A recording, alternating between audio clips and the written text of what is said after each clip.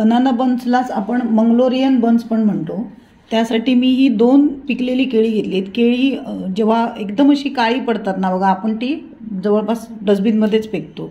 तेवढी जास्त जी पिकलेली केळी असतात ना ती केळी यासाठी एकदम उत्तम आहेत. ही दोन केळी घेतली आहेत मी. दोन टेबलस्पून गूळ घेतलं आहे दोन टेबलस्पून दही घेतलं आहे अर्धी वाटी गव्हाचं पीठ घेतलं आहे एक वाटी मैदा घेतला आहे इथे तुम्ही पूर्ण मैदा घेतला तरी देखील चालेल पण मी दोन्ही मिक्स घेतलं आहे हळद घेतली आहे अर्धा टीस्पून मीठ घेतलं आहे अर्धा टीस्पून जिरं घेतलं आहे एक टीस्पून आणि खायचा सोडा वापरणार आहे मी. तो घेणार आहे मी पाव चमचा. तो मी नंतर घालणार आहे. आता हे दोन्ही बाजूला ठेवते सध्या. मैदा आणि गव्हाचं पीठ चाळूनच वापरायचं आहे आपल्याला. आणि ही केळी जी आहेत ना ती व्यवस्थित स्मॅश करायची आहेत. इथे आता मी जे गूळ वापरलं आहे त्याच्या बदली तुम्ही साखर देखील वापरू शकता. तरी देखील चालेल. केळी जर छोटी असतील तर मग तुम्ही केळी तीन घेतली तरी देखील चालेल. किंवा जे हिरवं केळं असतं मोठं ते एक घेतलं तरी देखील चालेल. ही आता मी देशी केळी वापरली आहेत. म्हणून मी ही दोन वापरली आहेत केळी. आता हे एवढं स्मॅश करून झाल्यावर हाताने आपण मिक्स करूया कारण हे नाहीतर होणार नाही. हात स्वच्छ धुवून घ्यायचे आणि हे केळं जे आहे ते असं हाताने व्यवस्थित चुरून घ्यायचं. पूर्ण स्मॅश झालं पाहिजे ते. इथे आता कधीतरी केळ्याचं वगैरे प्रमाण आपल्याला जास्त होतं. तेव्हा मग तुम्ही पीठ जर आपलं खूप पातळ वाटलं तर त्या जागी मैदा किंवा गव्हाचं पीठ ॲड करू शकता अजून.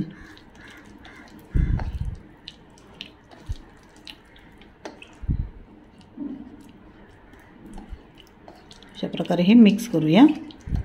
हे पहा कसं व्यवस्थित झालं आहे ते. स्मॅश झालं आहे पूर्ण. आता यात हे गूळ मिक्स करूया. जिरं अख्खंच घ्यायचं आहे आपल्याला. पूड वगैरे घ्यायची नाही आहे अख्खं जिरं चांगलं लागतं.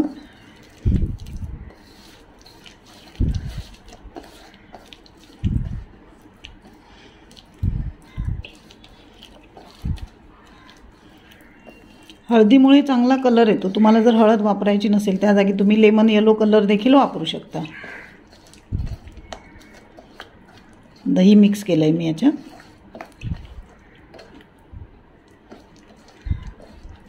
हे मिश्रण आधी पहिलं चांगलं एकजीव करायचं आणि नंतर मग ह्याच्यात गव्हाचं पीठ आणि मैदा घालणार आपण. हे आता चांगलं एकजीव झालं आहे मी याच्यात पाव टीस्पून सोडा घातला आहे आता यात घालते गव्हाचं पीठ. आणि मैदा. आणि हे चाळून घ्यायचं. चाळल्यामुळे पीठ आपलं हलकं पण होतं आणि चांगलं मिक्स पण होतं त्याच्यात. आता हे सगळं पुन्हा मिक्स करूया. पाणी अजिबात घालायचं नाही. आपण जे केळ्याचं मिश्रण केलं आहे ना त्याच्यात बसेल. एवढंच आपल्याला पीठ याच्यात मिक्स करायचं आहे पीठ आपल्याला जास्त देखील लागू शकतं. आता मी थोडंसं पीठ ठेवलं आहे अजून.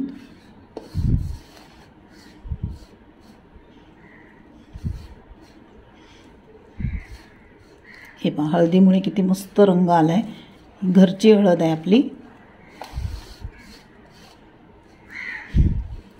आता उरलेलं पीठ आपण ॲड करूया. सगळं एकदम ॲड केलं नाही मी. नाहीतर पीठ खूपच घट्ट होईल. हे पीठ थोडंसं सैलसरच असायला हवं. मी अजून यात मैदा थोडा ॲड करते.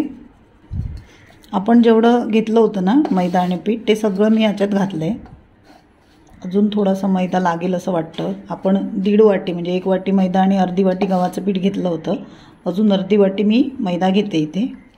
एकूण आपल्याला हे पीठ मळण्यासाठी दीड कप मैदा आणि अर्धा कप गव्हाचं पीठ लागलं. मी तुम्हाला एक कप म्हटलं होतं पण अजून अर्धा कप मला जास्त लागलं.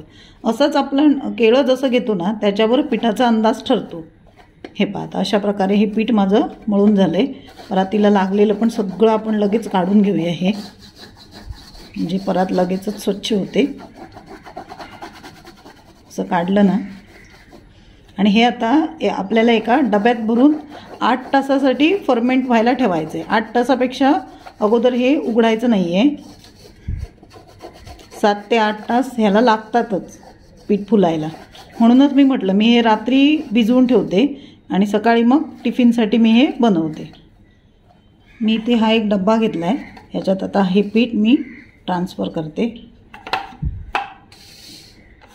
आणि ह्याला वरून आपल्याला तेल लावायचं आहे म्हणजे हे सुकता नाही नाहीतर ते असं फुलताना ना सुकल्यासारखं होतं.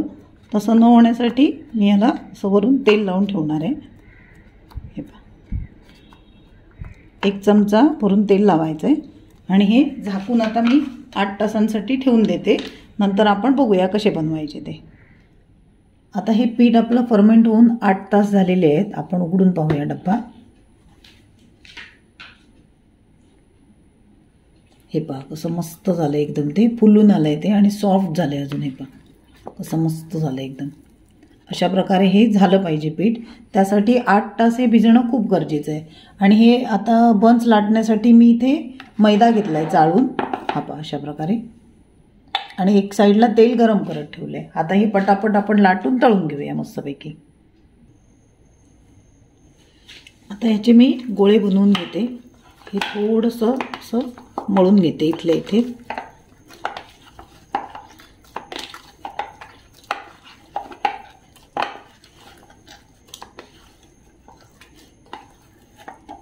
हे पहा कसं झालं आहे मस्त ते.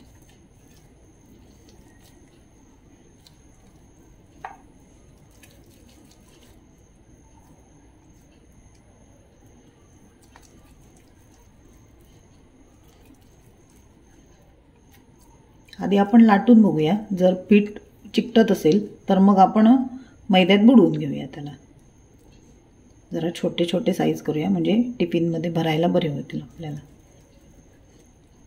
आता ही जी साईज आहे ना आपल्या आवडीप्रमाणे आपण कमी जास्त करू शकतो. मी छोटे करते म्हणजे काय आपल्याला कमीत कमी तेलात ते तळता येतात. मोठे केले की मग तेल जास्त घ्यावं लागतं कढईत.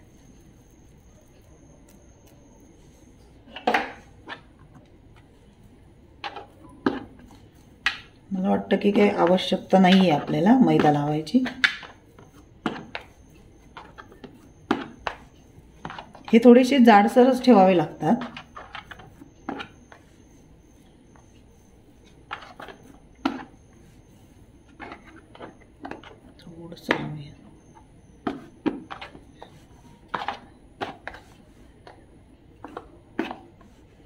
पीठ चांगलं फुगून आलंय त्याच्यामुळे ते जरासे पातळ झालेत.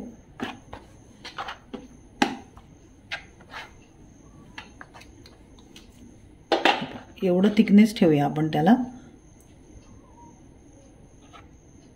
म्हणजे आपल्याला सोपं जातील. अजून एक लाटून घेऊया आणि मग आपण तळूया. जास्त खूप मैदा लावायचा नाही. नाहीतर काय होतं की तो पीठ तेलात ना जळतो. म्हणून मी कमीत कमी लावायचा प्रयत्न करते. आता हे तळून घेते मी. तेल आपण गरम झालं आहे का बघूया. एक छोटासा गोळा टाकून बघते मी. असं पटकन वर आला पाहिजे गोळा. म्हणजे तेल चांगलं तापलं आहे मीडियम गॅसवर मी तळून घेते हे.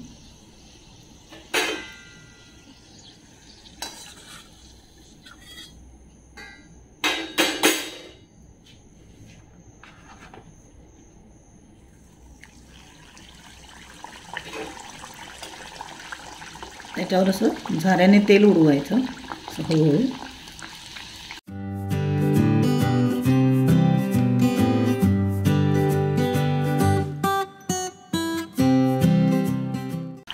असा फुगला पाहिजे तो. आता पलटून घेऊया. थोडासा त्याला ब्राउनिश रंग येईपर्यंत तळून घेऊया. म्हणजे खरपूस भाजला जाईल आतपर्यंत. आपण थोडंसं जारसर लाटतो ना त्याच्यामुळे त्याला व्यवस्थित भाजणं पण गरजेचं आहे.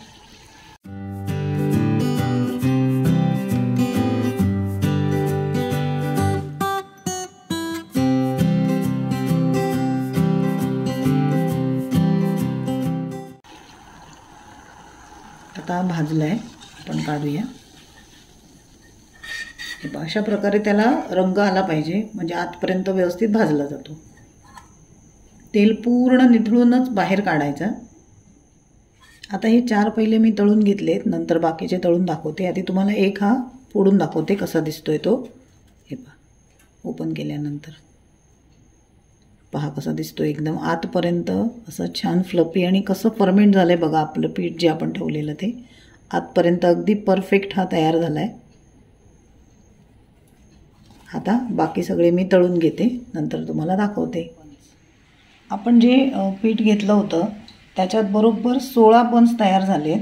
हे मी आपल्या पुरी एवढ्या आकाराचे बनवलेत. मोठे बनवले तर साईजला म्हणजे नग म्हणून कमी होतील. हे आता सोळा तयार झालेत. हे पहा कसे सगळे एकदम टम्म फुगलेत. हे पहा. कशी त्याला जाळी पडली आहे ती. अप्रतिम टेस्ट लागते याची. आणि साहित्य काय सगळं आपल्या घरात अवेलेबल आहेच.